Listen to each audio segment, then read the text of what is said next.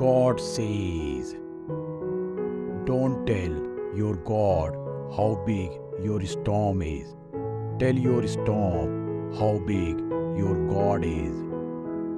You may feel lost and alone, but God knows exactly where you are and He has a good plan for your life.